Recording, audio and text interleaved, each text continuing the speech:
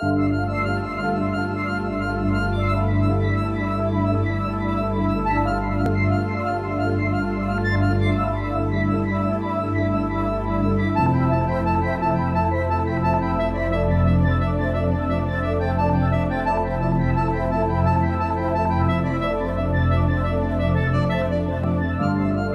navio de espelho não navega, cavalga. Seu mar é a floresta que lhe serve de nido. Ao crepúsculo espelha sol e lua nos flancos. Por isso o tempo gosta de deitar-se com ele. Os armadores não amam a sua rota clara, vista do movimento, dir-se-ia que para. Quando chega à cidade, nenhum cais o abriga. O seu porão traz nada, nada leva à partida. Vozes e ar pesado é tudo o que transporta, e no mastro espelhado uma espécie de porta. Seus dez mil capitães têm o mesmo rosto, a mesma cinta escura, o mesmo grau e posto. Quando um se revolta, há dez mil insurretos, como os olhos da mosca refletem os objetos. E quando um deles ala o corpo sobre os mastros, e escruta o mar do fundo. Toda a nave cavalga, como nos passos astros, do princípio do mundo até ao fim do mundo.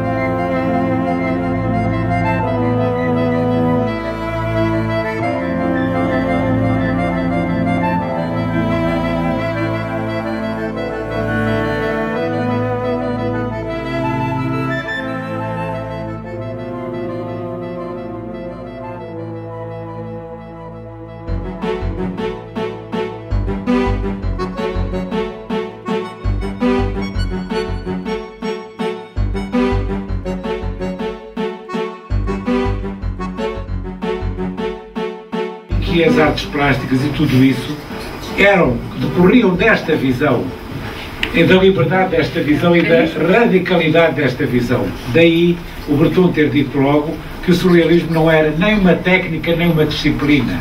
António Pedro já tinha tido um contacto muito intenso nos anos 40 com o grupo surrealista inglês e tinha trazido muitas dessas ideias para cá, mas também Cesarini, entre outros, tinham tido um contacto muito, muito forte com o Breton, que queria uh, fortemente trazer o surrealismo para Portugal e para outros países da Europa.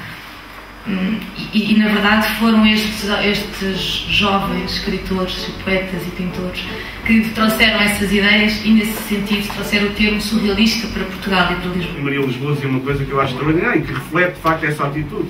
E dizia assim: é às palavras atos e não às palavras que supõem atos que me dirijo. Conseguir demonstrar a fatalidade, a tal impossibilidade de ser surrealista foi entre nós levado a cabo para lá do caso singularíssimo de António Maria Lisboa, que disse ele próprio ser e não ser surrealista. Lá fora, nos últimos 20 anos, têm visto nascer e, e decair as mais alojadas concepções estéticas e agora fazem a inovação. O futurismo, o cubismo, o dadaísmo, o expressionismo, o ultra-realismo. O Fernando Lemos escreve com um pincel de risos ferinos. Não escreve, feca o seu traço empapela-se do avesso dele, descicatriza-se. Está justamente na fase mais negra da nossa história, porque eu acho que o surrealismo começa nessa treva. Exemplo, Jerónimo Bosch ia começar por aí, pela treva boschiana. É nessa descendência que surge o fantástico, o maior pintor de todos os tempos, talvez, da, da arte fantástica, precursor do surrealismo noturno e visionário, no qual se insere um artista que está aqui chamado Artur Manuel Cruzeiro Seixas. Surrealismo noturno e visionário. Há uma hora, há uma hora certa que um milhão de pessoas está a sair para a rua.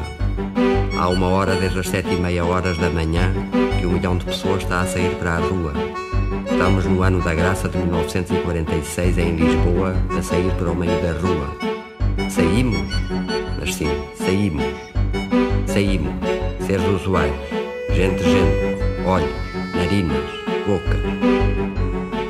Gente feliz, gente infeliz, um banqueiro, alfaiates, telefonistas, varinas, caixeiros desempregados. Uns com os outros, uns dentro dos outros, tossicando, sorrindo, abrindo sobretudo, descendo aos mictórios para apanhar elétrico. Gente atrasada em relação ao barco para o barreiro, que afinal ainda lá está, apitando estridentemente.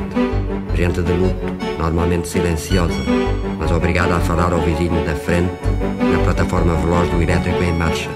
Gente jovial a acompanhar enterros e uma mãe triste a aceitar dois bolos para a sua menina.